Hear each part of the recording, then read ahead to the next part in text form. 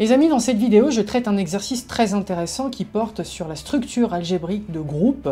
Donc c'est une vidéo qui précisément traite de l'ordre d'un élément dans un groupe. Dans un groupe, en l'occurrence un groupe par exemple abélien ou autre. Donc c'est une vidéo qui va s'adresser aux élèves qui sont classe préparatoire en première année ou en deuxième année ou même en licence 3, puisque c'est un, c'est une partie qui est importante également à L3 mathématiques. D'ailleurs, l'exercice est issu d'un TD que j'ai travaillé avec une élève que j'accompagne qui est en L3 mathématiques. Donc si vous voulez vous aussi prendre des cours particuliers avec moi comme cet élève, n'hésitez pas à m'écrire, vous trouverez le lien en description de cette vidéo. Évidemment, les amis, n'hésitez pas, comme d'habitude, à mettre la vidéo sur pause si vous êtes familiarisé avec cette notion de groupe ou avec cette notion d'ordre d'un élément dans un groupe. N'hésitez pas également à regarder la vidéo jusqu'au bout si vous n'arrivez pas à faire l'exercice. N'hésitez pas à liker, à partager, à commenter par euh, vos questions si jamais vous en avez ou par tout simplement votre euh, technique de raisonnement, votre méthodologie ou, ou à me dire si vous êtes aligné avec ce que je fais ou pas dans la vidéo. Puis n'hésitez pas également à vous abonner à cette chaîne, c'est très important, à activer la cloche pour être prévenu des prochaines sorties de vidéos. Et donc les amis, euh, on va commencer donc le traitement de cet exercice. Donc la première question en fait, donc on a G qui est un groupe ici et X un élément de G. N est un élément de N étoiles. Alors la première question nous demande de considérer donc petit m qui est l'ordre de l'élément X. On suppose que cet ordre est fini, D'accord Donc on écrit m est inférieur strictement à l'infini, ça veut dire que l'ordre de l'élément est fini. Il faut démontrer que x puissance n égale e, donc signifie que m divise n. Donc l'ordre de m, l'ordre de x divise n, qui est en fait la puissance de x qui fait que x puissance n est égal à e. Alors la première chose, c'est que je vais commencer par rappeler ce que c'est que l'ordre d'un élément. L'ordre d'un élément, x qui appartient à un groupe, c'est le plus petit, donc le plus petit élément, le plus petit entier. Donc m égale ordre x. Qu'est-ce que ça signifie? Ça signifie que m est le, plus petit entier naturel non nul, le plus petit entier non nul, donc évidemment entier naturel positif non nul, euh, donc euh, m appartenant à n étoile, qui vérifie x puissance m égale e. D'accord?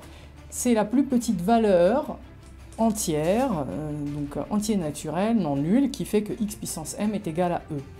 Euh, on dit que un élément x appartenant à un groupe G, évidemment, on est dans un groupe G, l'ordre de x est égal à l'infini, ça c'est très important aussi, lorsque, en fait, pour tout m appartenant à n étoiles, pour tout entier naturel, x puissance m est différent de e, d'accord? Si vous ne trouvez aucun entier naturel puissance de x qui vérifie x puissance m égale à e, et eh ben, dans ce cas, on dit que l'ordre de l'élément x est euh, infini, tout simplement. Donc maintenant, revenons à la question. la question qui est posée ici est la question suivante. Donc en gros, on, a, euh, on appelle m l'ordre d'un élément x, donc on a x qui appartient à g et m l'ordre de x. On suppose que cet ordre est, est, fini et on doit montrer que x puissance n égale à e nous euh, signifie tout simplement que m divise n. Très bien, donc comment est-ce qu'on fait pour raisonner? Donc la première chose à faire, donc pour rédiger comme il faut, qu'est-ce qu'on dit? On dit donc soit x appartenant à g tel que donc ordre de x est égal à m. Qu'est-ce que ça signifie? Donc ça signifie alors que, évidemment, x puissance m est égal à e, n'est-ce pas? Déjà. Donc ici, comme on a une équivalence, on va procéder par double implication. Donc on va chercher l'implication dans le sens direct. Donc on suppose, dans, ce sens, on suppose que x puissance n est égal à e. L'objectif, donc euh, le but du jeu ici, c'est de démontrer que m divise n. Pour démontrer que m divise n, une des techniques les plus simples, c'est de considérer la division euclidienne de, n par m. Donc on considère la division euclidienne de n par m. Alors, si je considère la division euclidienne de n par m, donc on pose petit n égale à m fois Q plus R, d'accord? Avec R le reste de cette division, avec R supérieur ou égal à 0, strictement inférieur à M, n'est-ce pas?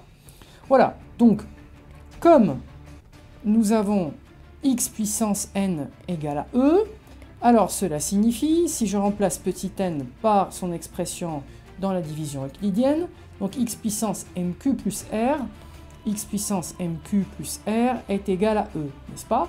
Or, x puissance mq plus r, c'est quoi? C'est x puissance mq fois x puissance r égale e. Donc ça signifie donc que x puissance m le tout puissance q fois x puissance r est égal à e, n'est-ce pas? Donc, voilà, donc étant donné que m est l'ordre de x, alors ça signifie, on l'a dit tout à l'heure, que x puissance m est égal à e. Donc ça veut dire ici qu'on a e puissance q fois x puissance r égale e. e puissance q c'est e, puisque e c'est l'élément neutre, donc euh, avec n'importe quelle puissance est égal à e. D'où je peux ici affirmer que x puissance r est égal à e, n'est-ce pas? Donc x puissance r est égal à e. Mais ça, qu'est-ce que ça signifie en fait? Alors ici, on a une espèce de contradiction entre guillemets. Pourquoi? Parce que, étant donné que m c'est l'ordre de x, m c'est le plus petit entier non nul qui vérifie x puissance euh, k est égal à e, tout simplement. Et r est un entier qui est plus petit que m qui vérifie la même chose. Donc forcément, r est égal à 0, n'est-ce pas? Donc, euh, comme m c'est l'ordre de x et que euh, r est strictement inférieur à m, alors forcément, en fait, le R ne peut être que nul, en fait, ça peut être que 0. Et donc, puisque R est égal à 0, qu'est-ce que ça signifie? Donc, dans la division euclidienne de n par m, qu'est-ce qu'on a? D'où n est égal tout simplement à m fois q, puisque r est égal à 0. Et donc ça signifie quoi? Ça signifie effectivement que n est un multiple de n, que n est un multiple de m. Donc, on peut en déduire que m divise n. Donc voilà dans ce sens Comment, on démontre que, tout simplement, si l'ordre, euh, si x puissance n est égal à e, alors l'ordre de x divise forcément petit n, la puissance. Maintenant, réciproquement, 2. Donc dans le sens inverse, l'implication dans le sens inverse, la réciproque. Donc on suppose, on suppose ici que donc m divise n. Donc il faut démontrer, donc on doit prouver que x puissance n est égal à e. Donc, euh, comme évidemment on suppose que m divise n, alors n, donc il existe un, k, un entier naturel k qui appartient donc à n étoiles, tel que petit n est égal à m fois k, n'est-ce pas? Voilà. Et donc, x puissance n, ce serait quoi dans ce cas? Ce serait x puissance mk. Donc c'est égal à quoi? C'est x puissance m le tout puissance k.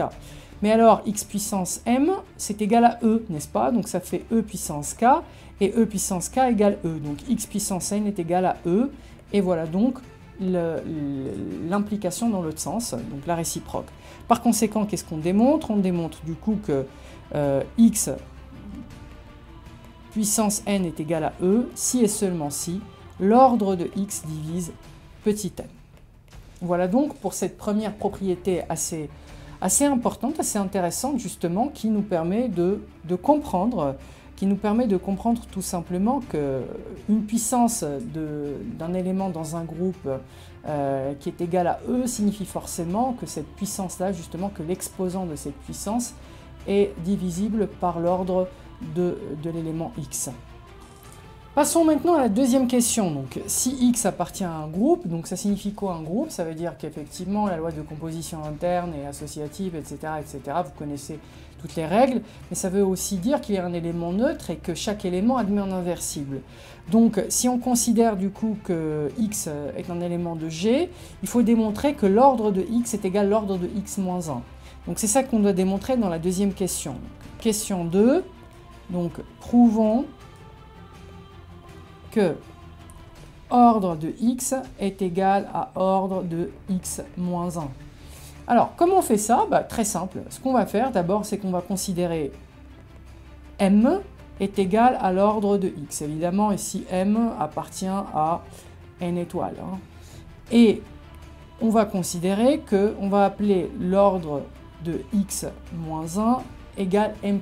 D'accord? Très bien, donc on va considérer ça.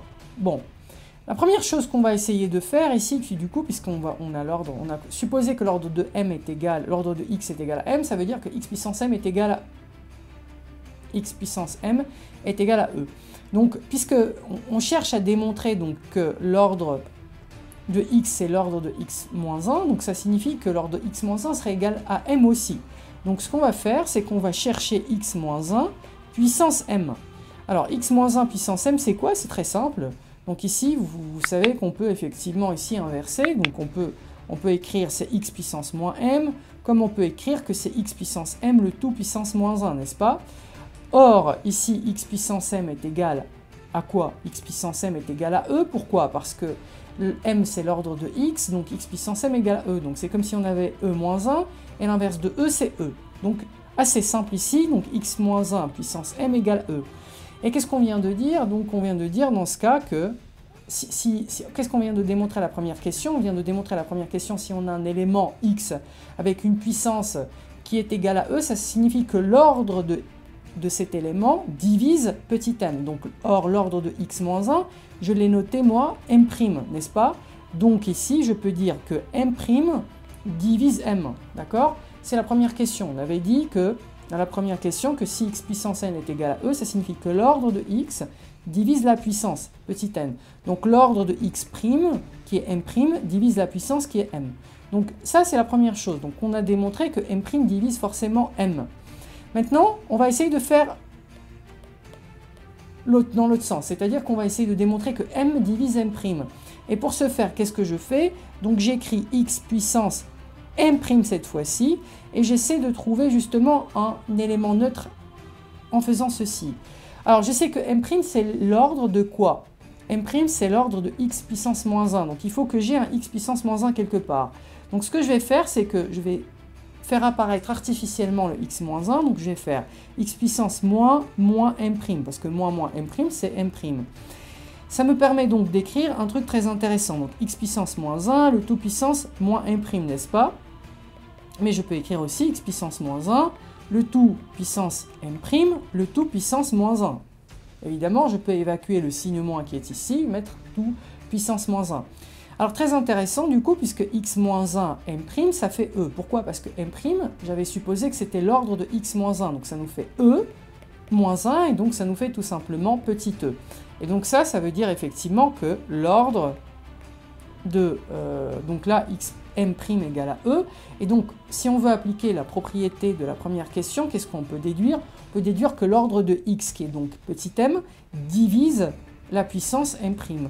Jusqu'à présent, on a démontré que l'ordre m divise m' et on a démontré que m' divise m. On sait que m et m' sont deux entiers naturellement nuls, donc m, m' appartiennent à n étoiles, et m divise m' et m' divise m. Donc, par conséquent, m est égal forcément à m', ce qui veut dire donc que pour tout x appartenant à g, tout élément d'un groupe, l'ordre de x est égal à l'ordre de l'inverse de x par la loi de composition interne du groupe. Voilà les amis. Maintenant, question 3. Il faut démontrer que si l'ordre de x est égal à l'infini, alors l'ordre de x puissance n est égal à l'infini. Donc, question 3. Il faut montrer que si ordre de x est égal à infini, si x est un élément d'ordre infini, alors l'ordre de x puissance n est égal à l'infini aussi. Très intéressant. Donc là, on peut, on peut démontrer euh, cette, euh, cette, implication de deux manières différentes. Alors, il y a une manière qui consiste à aller dans le sens direct, il y a une autre manière qui consiste à le faire par, par contraposé. Par contraposé. Alors, comment on démontre ça par contraposé? Eh bien, très simple on va, on va supposer, donc, euh, contraposer, je vous rappelle que si j'ai une proposition P qui implique une proposition Q, il suffit de démontrer que non Q implique non P, d'accord? Donc ici, en l'occurrence, je peux supposer, donc on suppose que l'ordre de x puissance n est différent de l'infini, donc c'est un ordre, c'est l'ordre fini. Si c'est différent de l'infini, ça veut dire c'est inférieur, on écrit strictement l'infini.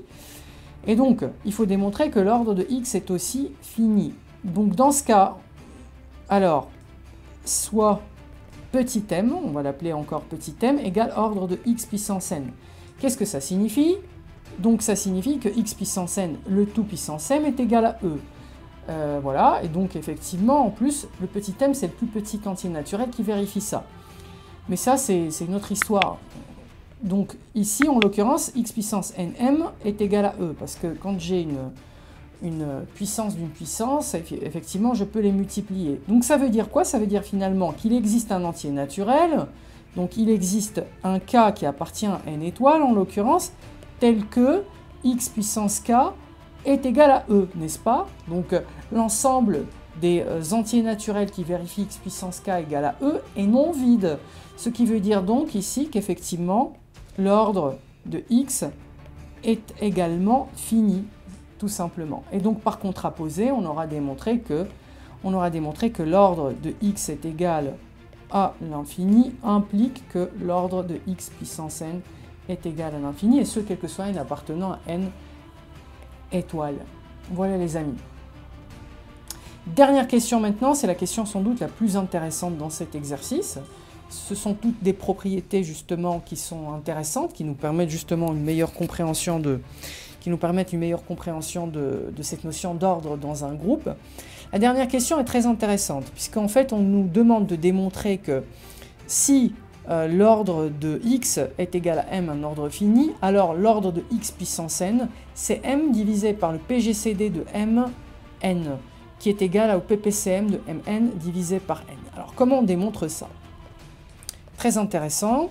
Évidemment les amis, comme je vous l'ai dit au début, n'hésitez pas à n'importe quel moment à mettre la vidéo sur pause et à essayer de raisonner par vous-même.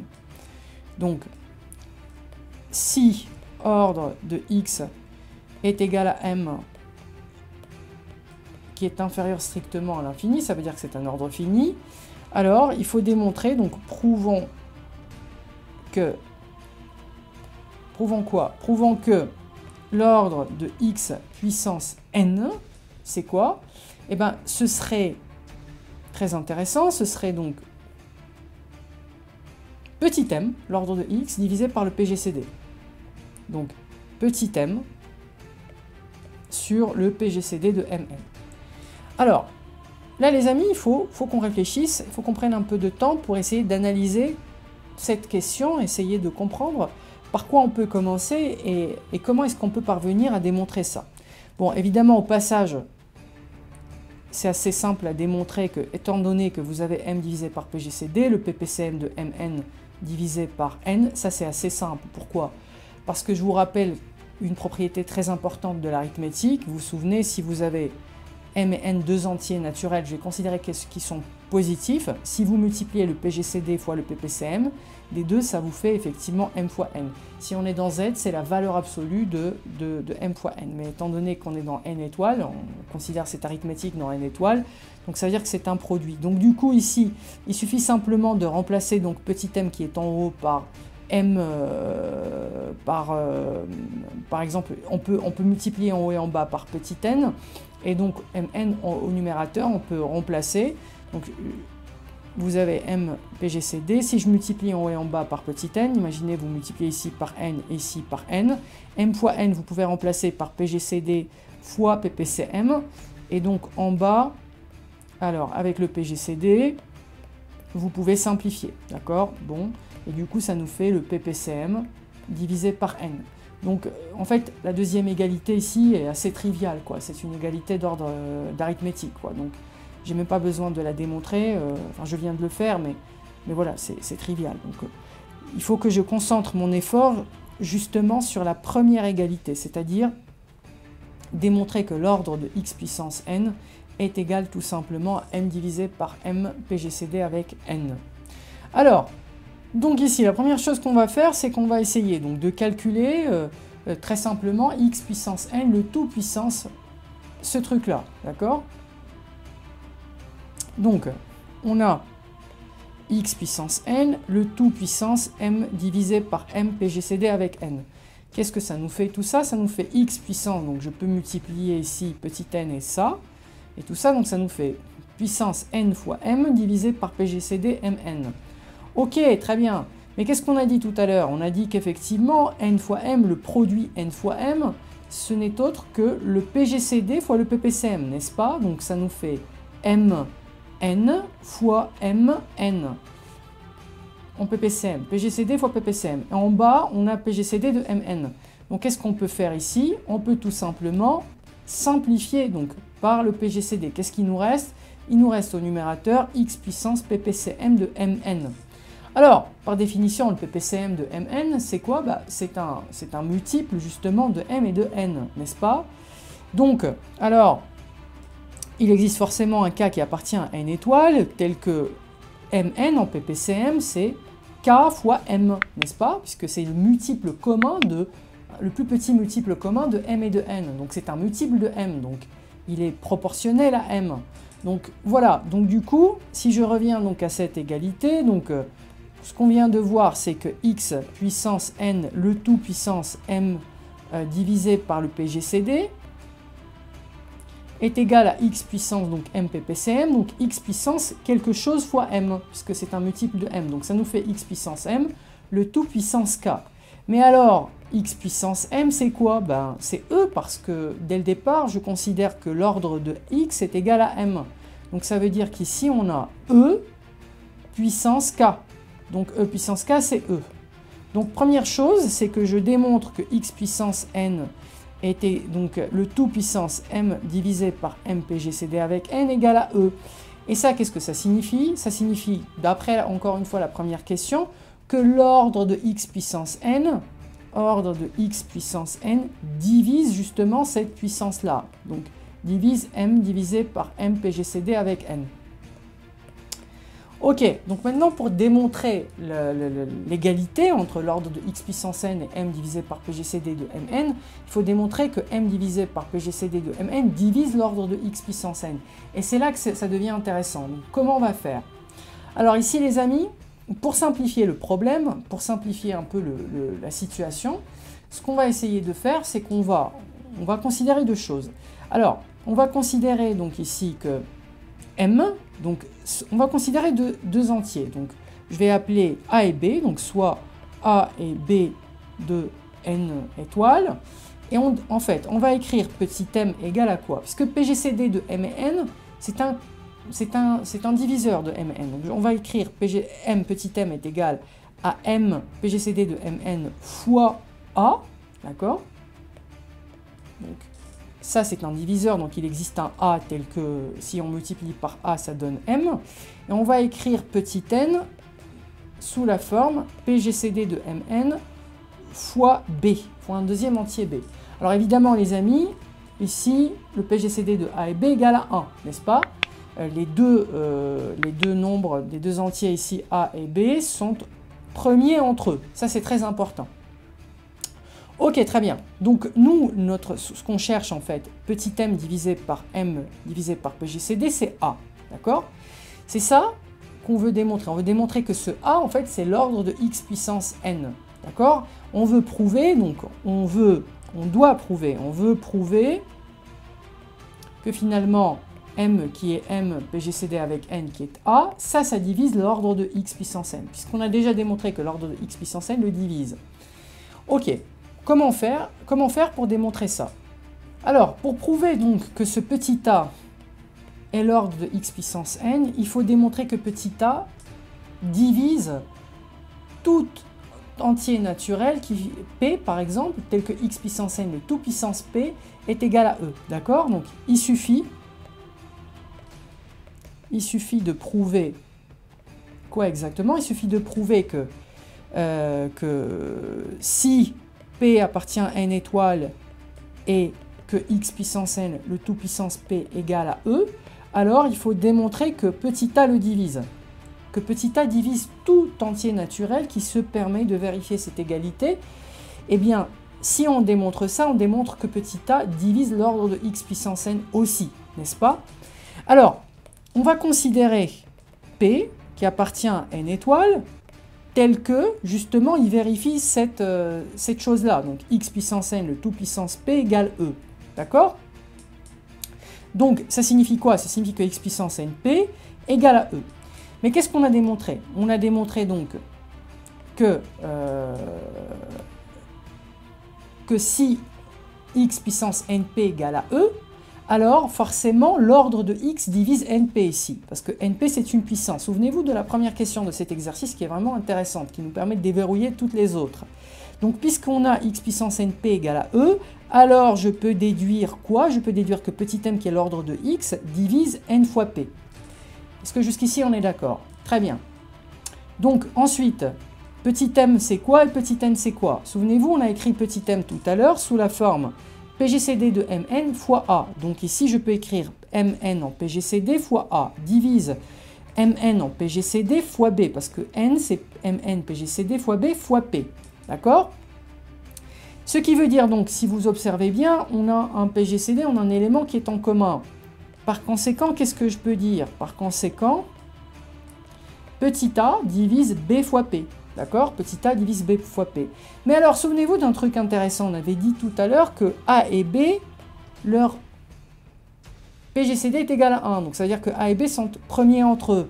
Donc, comme PGCD de a et b est égal à 1, qu'est-ce qu'on peut déduire alors? D'après le lemme de Gauss. D'après le lemme de Gauss, qu'est-ce qu'on peut déduire? On peut déduire tout simplement que petit a divise p. D'accord Petit a divise p. Qu'est-ce que ça signifie? Ça signifie que petit a, en fait, divise tout entier p qui vérifie x puissance n, le tout puissance p égale e. D'accord et, bon, et donc ça veut dire quoi? Ça veut dire que a, en l'occurrence, a en l'occurrence, divise l'ordre de x puissance n, puisque l'ordre de x puissance n vérifie ça également. Et donc du coup, qu'est-ce qu'on a? Ben, Petit a, je vous rappelle ce que c'est, c'est m divisé par pgcd de mn, donc divise l'ordre de x puissance n. On avait déjà démontré que l'ordre de x puissance n divisé m divisé par pgcd de mn, d'où on peut dire exactement ici que l'ordre de x puissance n est égal tout simplement à m divisé par le PGCD de mn, qui est en fait la même chose que n divisé par le PPCM de mn. Et donc ça clôture justement la démonstration de cette euh, formidable propriété. Voilà les amis, n'hésitez pas à me dire en commentaire encore une fois si vous avez eu des blocages à faire cette question en l'occurrence ou toute autre question de cette vidéo. N'hésitez pas les amis à liker, à partager, à commenter. N'hésitez pas à vous abonner à cette chaîne, à activer la cloche pour être prévenu des prochaines sorties de vidéos. Et puis je vous dis à bientôt pour une nouvelle vidéo sur cette chaîne.